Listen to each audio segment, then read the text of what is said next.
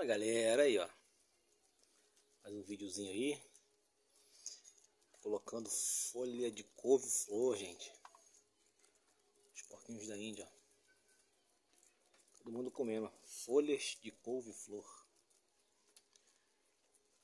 De couve-flor não, gente, desculpa. Folhagem de repolho. Aí deu uma chuva mais ou menos, molhou um pouquinho no chão Uma refrescadinha. Aí ó, o machinho comendo aí ó folha de couve-flor, fêmea aí, pretinha, tudo a mesma, né? Como que eles comem, ó.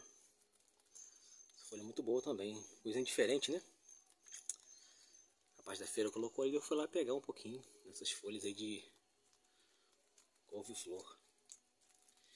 Tinha umas mangas também, mas a manga tá um pouco meio podre. Aí fala, não vou levar não. Bem, não sei se eles vão comer a manga, né? Pode ser que come, mas... Tá aí, ó. Folhagem é muito boa, né?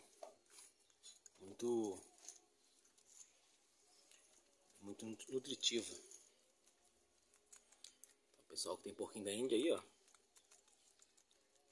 Pode postar e dar essas folhagens para eles aí. Beleza, galerinha? Então não deixem de dar essas coisas não. Eu peguei um pouquinho de capim, tá lá fora na bolsa, né? Peguei uma bolsa meio essas folhagens aí, joguei um pouco para as galinhas, para os pintinhos, os porquinhos daí de filhote que estão lá dentro, lá na frente do viveiro. Aí todo mundo tá comendo. Isso aqui também, ó, é pequenininho aqui. E machinho como come.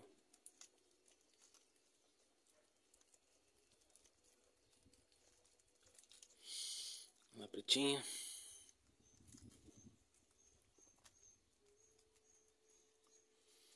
Daqui a pouco eu jogo mais.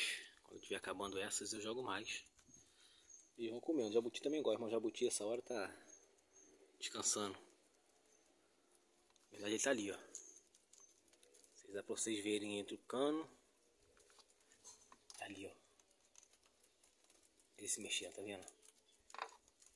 Será que ele sentiu o cheiro dessas folhagens estão vindo. Olha lá ele, ó.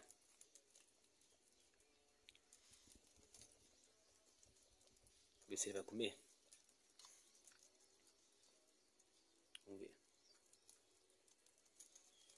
Chegou lá, ó. Ele é desse sentido faro, né, gente? Ó.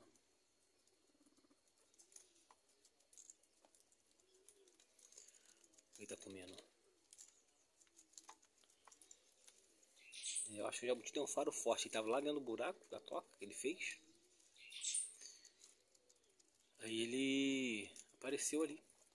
Pode ser o faro, né? Da... O verde.